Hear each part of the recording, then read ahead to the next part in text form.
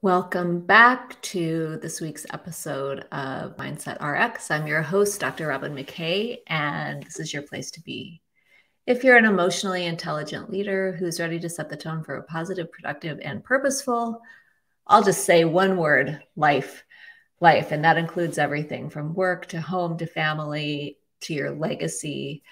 And I'm so happy to be here with you today. This is a very popular topic, judging from the response I received when I announced this as an event on my weekly LinkedIn Live.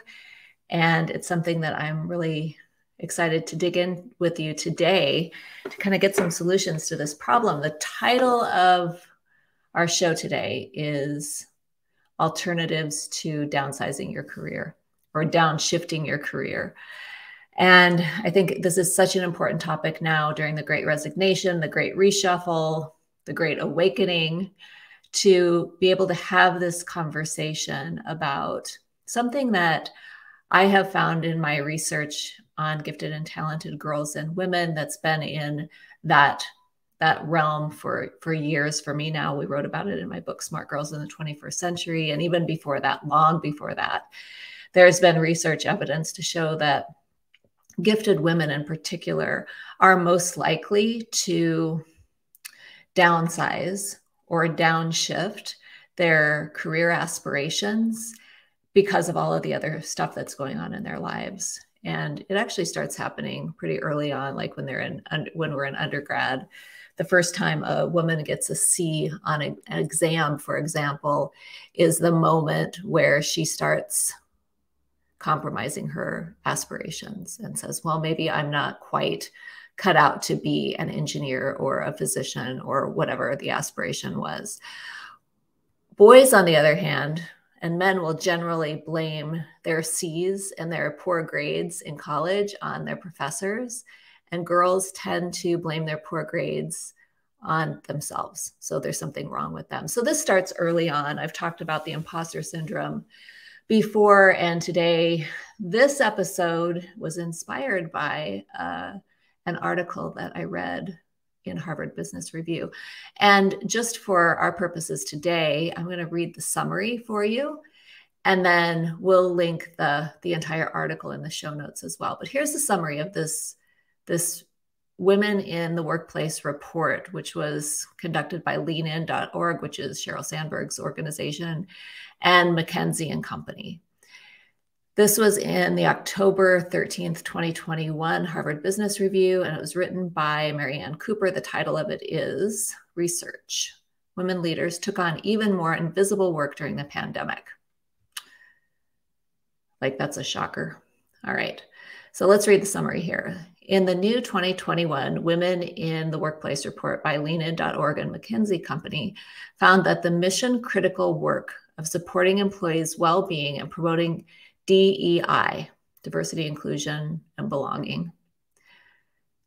I know I totally misspoke that. Diversity, equity, and inclusion. Those are the three, those are the three letters.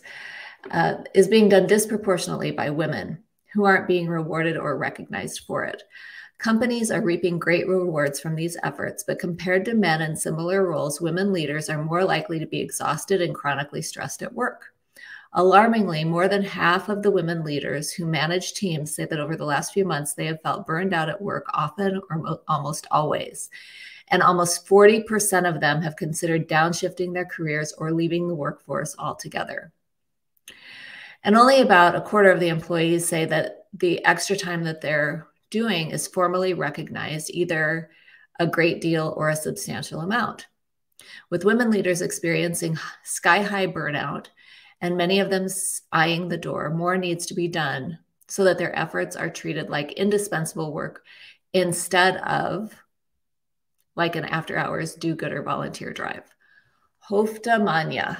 That's a lot. And if you know me, if you've been around with me for a while now, you know that I have a fierce, fierce protection of women in the workplace and have been a huge advocate of making sure that women are being recognized and valued in the workplace. And I think that as I read that article in the Harvard Business Review, what I reflected on were the recommendations that the the research study had put forth. And it's not surprising necessarily, and I think it is an important part of the conversation, but a lot of the recommendations came from an institutional or organizational change.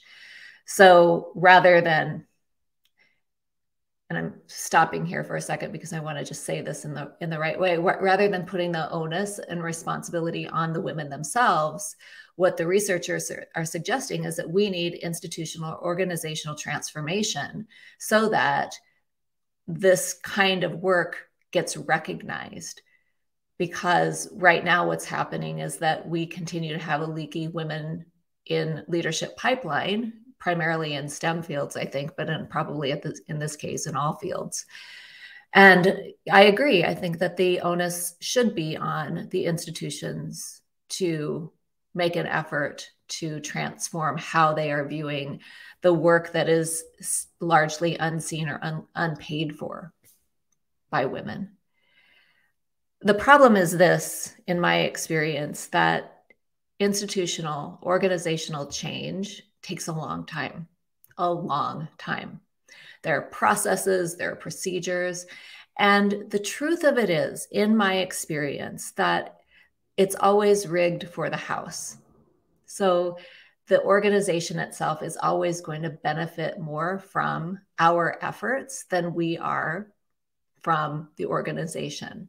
I know that's hard to hear because I know that we like to think that we're rewarded for our effort. I know that we like to think that it's a mutual um, reciprocal relationship i give and i receive in my organization but I've been, this is not my first rodeo. It's probably not, if you're listening to this podcast, your first rodeo either.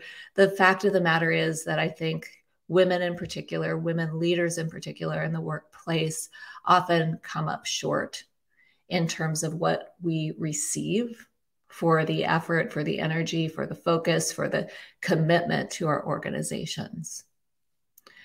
So, having said that, I'm not saying that organizational change isn't needed. Absolutely, it is. We've talked for a couple of years now about dismantling um, systems and structures that are no longer beneficial or of service to women, people of color, anybody who's not cisgendered, white, male Christian in the workplace. But since that change takes so long, the conversation I want to have with us today in the Mindset RX is before you downshift, and I don't blame you if you want to. Listen, this is, it's been hard. This last few years in particular has been very hard on women. And I think that was the, the crux of the research in the Harvard Business Review is just to say how hard this time has been, particularly on leaders who take up the slack, women leaders in particular, who take up the slack, who take up the, the mantle for transformation, for change. It's been hard and it's exhausting, and you probably are burned out. A lot of the women leaders who work with my company are burned out. That's one of the reasons that they come to me. Some of them are thinking about downshifting. Some of them already have downshifted. Some of them are thinking about leaving organizations altogether and going out on their own and doing something different. So, what I want to talk with you about today is not the organizational transformation, which we all acknowledge needs to happen, but it's the inner transformation, it's the individual transformation that I want to talk with you about before you downshift, before you make the decision to quit your job, before you make your decision to give up your team that you've been leading for the last two years and go back, go back. I'm using air quotes here, but go back to being an individual contributor before you do that. I want you to think about a couple of things first. And I say this from the perspective of having worked with women leaders for a long time who have been in positions of burnout and who want to continue to contribute, but can't see the way forward because they're so exhausted. And because things have gone sideways over the past couple of years, things that we couldn't have predicted or controlled have really continued to, to impact how we're able to contribute in the workplace. so I've watched this happen professionally to others. And I've also had the experience of downshifting my own career early on. There have been periods in my life where I was burned out. And my go to solution for my burnout was not more self care, not more work life balance, not more introspection. But instead, it was like, I'm I'm burning everything down. I'm shutting everything down. I'm getting out of the volunteer work I'm doing. I'm not taking on any more projects. It was just kind of this all or nothing approach to what amounts to managing my energy. And the truth of it for me was I had such bad boundaries around my work. I said yes to everything. I was pretty agreeable at that time in my life. And I wanted to be helpful and I wanted to be known as somebody who would go the extra mile. I wanted to be known as somebody who was willing to go to the mats for a project. I loved that, in fact. And yet, I didn't have any kind of sense of myself for what what actually made sense for me based on what my deepest most precious hopes and dreams are what my deepest heart's desires were.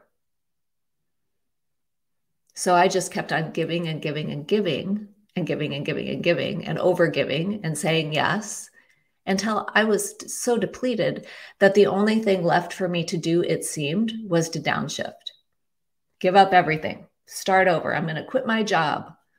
I used to say, I'm going to quit my job and I'm going to go work at the Nordstrom counter I'm going to go work at the Chanel counter at Nordstrom, right? Maybe you have a fantasy about that too.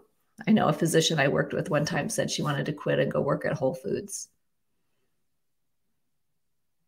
So our brains come up with these seriously ridiculous solutions of quitting everything, of burning everything down, of starting over, of, oh, and here's another one. I'm going to go back to school. That's always a good one right?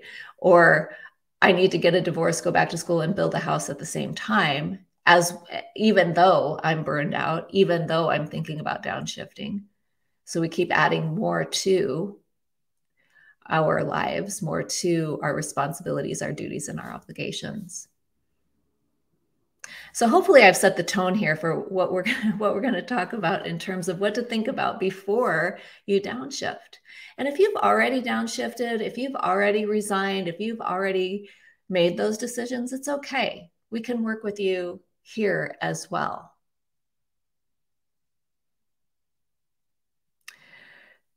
When a woman leader comes to me and she says she's burned out, she's thinking about quitting her job or she's thinking about downshifting her career into an individual contributor role from a leadership role, for example, or thinking about somehow just transforming her career, even though she might not use those words. One of the first things we have to do is look at burnout. And the reason I know it seems obvious, but the reason I start there is because unless and until you cure the burnout.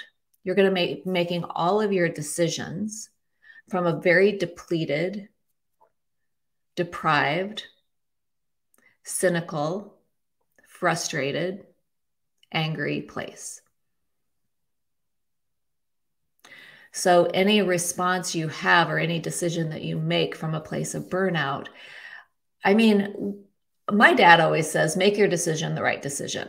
So I'm not saying go back and change your mind about anything. I'm just saying that if you're in a place of, I'm thinking about this, before you decide, let's get you feeling better. Let's elevate your well being so that when you feel better, you can make a decision from a healthy perspective rather than from an unhealthy perspective. Now, I'm not saying that you have to if you're in a toxic workplace, if you've got an abusive boss, if there's something going on that's unethical or you know misaligned from what you hold precious and dear, that's a different conversation. But if you're thinking about leaving your job or downgrading your your prof- your professional development in order to somehow be able to take a breath, then that's a different part of the conversation, isn't it? So we've got to get you feeling at least a little bit better, at least a little bit better, so that you're thinking clearly and so that you know that your decision is really aligned with your values, really aligned with what your soul's purpose is. And that, to be honest, in the last couple of years, what I have seen coming out of the pandemic is major existential conundrum. I'm not going to let it raise to the level of crisis, although sometimes it does. But the existential conundrums that women find ourselves in is this all there is? If this is all there is, this really sucks. And I want something different. What's the purpose of my life, you ask? What am I here for? What am I meant to contribute? And if you find your job that you're in right now, your position that you're in right now, unfulfilling, then that is a signal that it probably is time to look for something that is aligned with what your soul's purpose is. And by the way, if you're new to my community and you don't like talking about souls, we're going to probably not, you're going to probably bump up against some of the things that I say around soul purpose, around spirituality in the workplace. And that's cool. I'm just probably not the right person for you to be listening to. But if you are, as most of you are who are listening, emotionally intelligent, understanding that you actually do have a soul purpose and it's different from what you might have imagined when you were younger or what you experienced earlier in your career. And when you come to a place and you're in that existential crossroads, when you start feeling better, when you start recovering from burnout, and you start making the decision i don't want you to recover from burnout and then only to go back to the work that you've been in that's burned you out in the first place. That's just stupid. It's also probably the definition of insanity right? To do the same thing over and over again and expect a different result so we want to get you feeling better so that you can make an informed decision. The trap here is that if I feel better, then I'll just go back and keep doing what I was doing. And I can do that it, until infinity.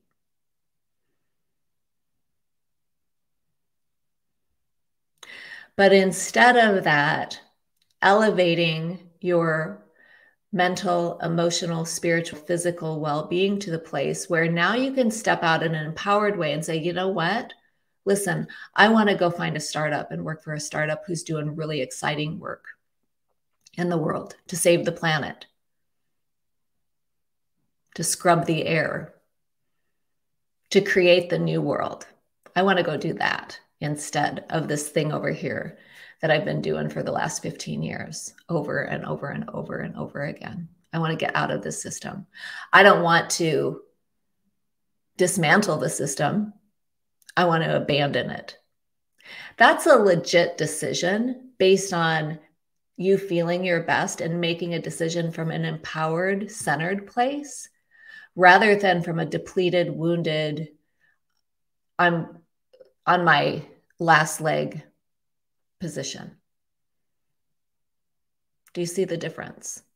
I know you do. So, we're talking today again about what to do before you downshift your career. I think too that if you're thinking about leaving before you do, I want you to also really deeply consider linking arms with somebody like me who is an experienced advisor and executive coach for leaders. And here's why. The, the world that we're pressing into, this new chapter of the world that we're creating, that we're writing, is not the same chapter that we were just in. It's not the same chapter that says grit, tenacity, and hard work are going to get you to the top. It's not the same chapter that says that you have to do it all all by yourself. It's not the same chapter that says if I express my emotions, if I raise my hand and say I'm burned out, if I raise my hand and say I need a mental health day, you're not considered weak. If I cry at work, I'm not considered weak. It's not a ding on my brand. Those are the old chapters, and those chapters are complete. So we're writing a new chapter now and on into the future. And that new chapter looks way more like this is a collaborative effort. I know that I'm not meant to, to walk this leg of my journey by myself. I know that there are things that I don't know. I know that there are people who have expertise in transformation that I have no idea about. I know that I'm a natural leader, but even natural leaders can be refined. And even deep down, I know that there's nothing especially wrong with me, and I want to stop focusing on thinking that there's something wrong with me. I want to focus on my strengths. I want to create work where I'm in flow. I want to recalibrate my relationship with time, with money, with work. Those are the things that we're moving into. Those are the the practices and the mindsets and the attitudes and the experiences that we are writing in this new chapter.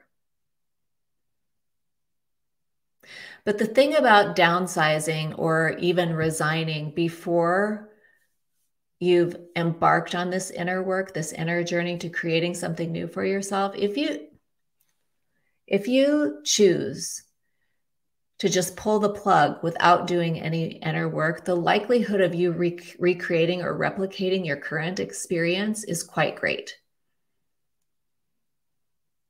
There's that old saying wherever you go, there you are.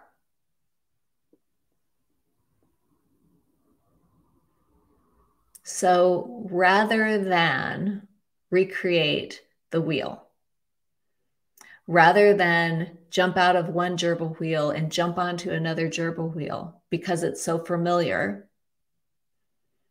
why not take just a little bit of space? Eight weeks, 12 weeks, six months to do the deeper inner work first. To press pause on the decision to leave and make sure you're right inside, you're aligned inside before you do. The image just came into my mind of if you've got a broken leg and you have a flight scheduled, a, a jump flight scheduled to jump out of a hel- uh, out of an airplane a parachute, but you've got a broken leg, you probably want to mend the broken leg before you get on the plane. Otherwise, there's a whole catastrophe waiting for you on the other side of that jump. Big message today heal inside, heal the corporate trauma, transform the burnout, learn how to say no and mean it. There are some people who say no very easily. If you're not one of those people, it's time you learn. You're never going to be considered a big jerk because you're too nice, you're too kind. The truth is that it's really hard to be a good leader and be kind, be really, really nice. But you can learn how to say no and mean it and let your yes be yes and your no be no so that those those times when you do find yourself overgiving you can you can walk that back and say i'm sorry to disappoint you but no but you have to it's not just learning that. I know that intellectually know that but we have to also embody it. We also have to embed it in our consciousness like a new program. We've got to download the new program that says i'm going to stand in my no and ask how can we make this work? And ask different questions other than just an automatic yes to whatever's right in front of me. So do your inner work first. Press pause.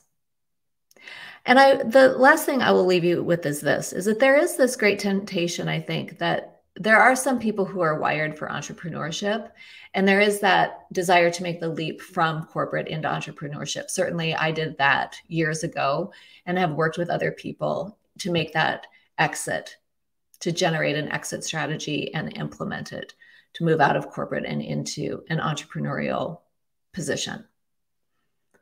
Entrepreneurship is not for everybody. And I know that there are other solutions other than downgrading your career or downshifting your career.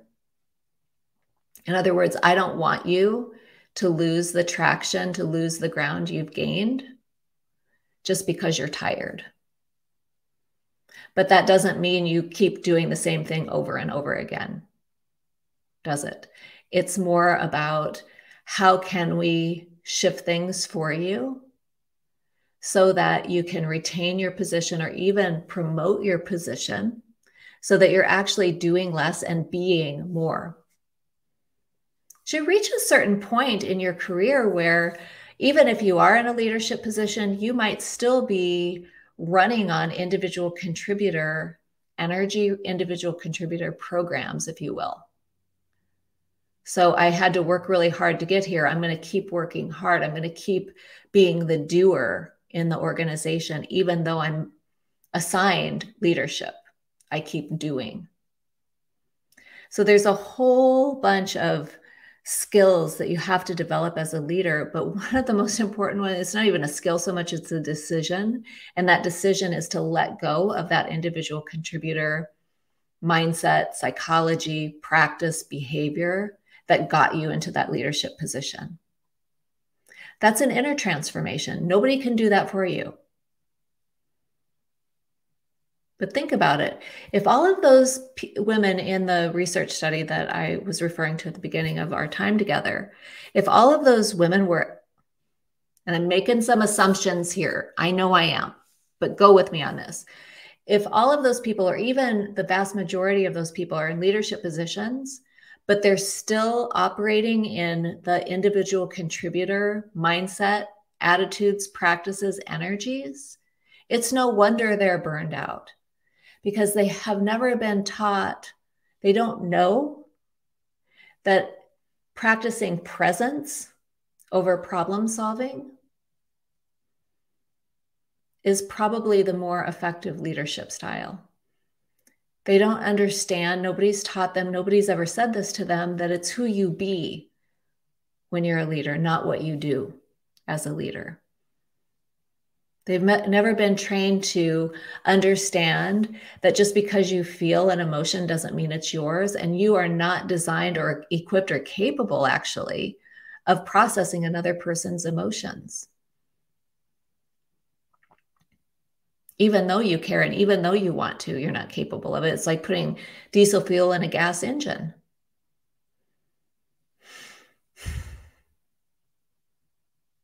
So, yes, this is a systemic problem. Yes, this is an organizational challenge. Of course, it is.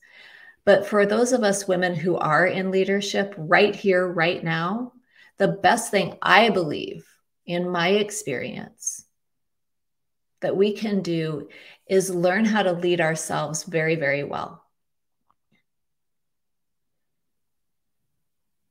And make decisions from the healthiest, most whole position that we can and we do that by engaging professionals, experts who are more than capable of leading you into the most actualized version of yourself.